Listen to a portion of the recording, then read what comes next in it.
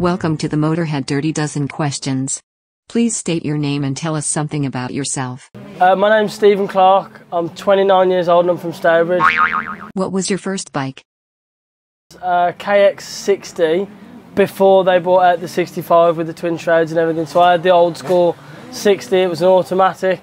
Um, and it was actually Chad Yarrington's old bike, funnily enough. It came with a number 5 on it and that's where that came from. When and where was your first race? Honestly, I don't remember my first race. Um, I want to say it would have been maybe like Bromyard, 97 was like the Cotswolds um, schoolboy championship. Um, yeah, I'd, I'd, have to guess like Bromyard, yeah. Man, I don't even know. I'd have to get back, get to my dad on that one and get back to you. Could you change a piston?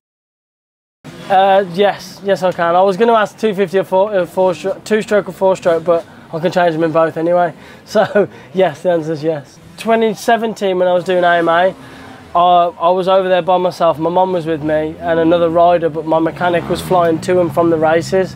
Well, I blew my practice bike up on a Tuesday and had to take the head off, redo the lock, new piston, new valves, cams, everything all tighten, tension everything up, adjust the valves and everything. And I did it with Stu on FaceTime, walked me through it, and I've done it a few times since then. And you just once you've done it a couple of times, you kind of know what you're doing. Um, but it's a nice thing to learn, I think, because the more you know about your bike, the better it is, isn't it? Yeah. Who's the best rider you ever saw? Oh, I'm gonna have to say the best rider's got to be James Stewart. Uh, in, I mean, I've seen him in person, been at his races and everything, you know, at the beginning of my AMA career, but just some of the things that man can do, no one else can do.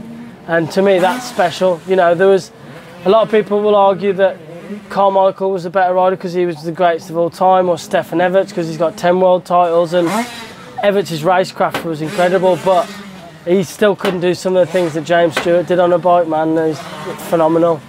What's the best track in the world? Oh, I'm going to have to say Matterley Basin. Not because I'm English, but the track is unreal. The jumps are amazing, and it's always prepped really well. Do you know what I mean? And the ruts are just curled over. It's perfect for me. I love it. I've won there twice now in the European class. Yeah. I'm actually hoping I can try and talk my way into the nations team for this year there because, I mean, I, I know was, I know 100% I'm as quick as as Conrad and Ben ran there. You know, it, I think it'd be nice to get my chance to represent England, but we'll see, ain't it? Who has been the biggest influence on your career? Uh, the biggest influence in my career is definitely Colleen Millsaps from MTF. I, I, was just a local club level rider before I went there and uh, put in a lot of time and effort of my own time and effort with her and uh, got me where I am today to be fair. I owe all of my speed and form and technique to her. It's quite mad isn't it really that's I literally wouldn't jump a 10 foot double before I went training there and I mean I'm now here I am.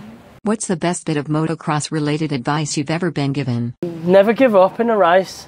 There's so many times where you get like three quarters of the way into a race and you feel like you're settled into a pace and if you don't give up, you don't know what's going to happen in them last few laps. A lot of people will be tired, dropping back, crashing, anything, and uh, a few times just from not giving up. I've won races on like the last half a lap because someone's made a mistake or got tired. So that's, I mean, the biggest piece of advice here would definitely be don't give up towards in a race.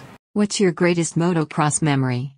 Being on the podium, uh, like being on the podium doing an interview at an AMA Supercross with the fans there on a night show, and it was only an LCQ win, but I got to go up there and I was on the telly and you know what I mean and talk in front of all them people. I just think that's special, you know, because that's a small list of people that get to do that sort of thing. What are the keys to your success?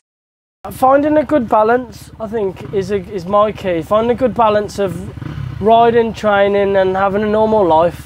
You know, there's a lot of people that go so into the training side of it, they they lack the riding side of it, and there's a lot of people that do too much riding, not enough training. You know, and I, now I've got a good balance, and you've got to have a normal life as well. You can't, you've got to be able to switch off from it, if you know what I mean, and then uh, makes it easier to get going again when you pick it back up. What is your greatest fear? I don't like heights. That's, I don't like heights. That's a bad one of mine. I'm on top of a building, mate. I'm, I've got sweaty palms. I'm all clammy and everything. What's your most embarrassing moment?